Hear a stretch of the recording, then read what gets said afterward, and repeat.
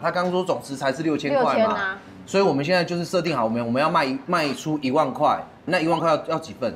一份三百，九十份，对，那所以我们就是五十份外带，是不是这样？那就是一万块嘛。九十他算数是怪，算数三乘以对吗？不是啊，错了吧？哎，三不是啊，三乘来来来三乘三等于九，哎，九百，那是不是多一百？呃是我算错所以我们？算一份三百的话，乘以五十，一千五啊，一万五，一万，五，一万五。那就达标啦。哦，那是不是就达标？我们食材值六千啊不？是，但是他说要百份破百份的，当然可以卖越多越好啦。我们不要给自己那么大的勇气，我们不是郭宏志啊。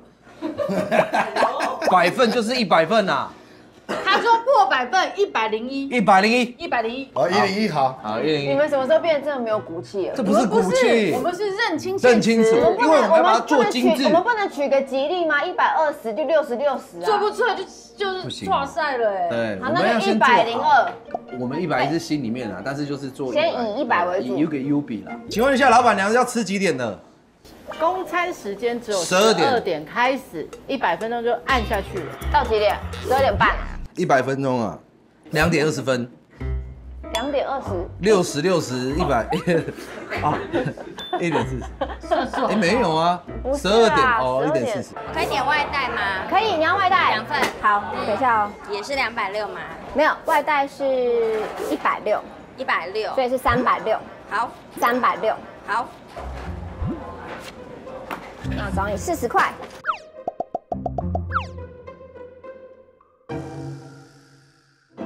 那我们就两个便当，好，三百六，谢谢。外带几个？两个。好，外带是一百六，所以是三百六。那两个是三百六，内用三个，然后一个蛋糕。等一下，我算一下哦，三百六，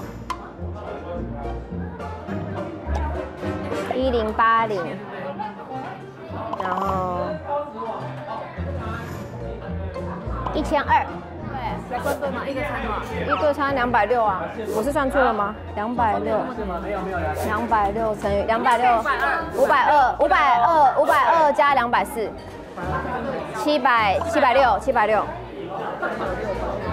首先呢，我要先跟我的数学老师说一声 sorry，我的算术有点问题，然后有算错账。合伙人呢会帮我把多的金额捐给需要帮助的人。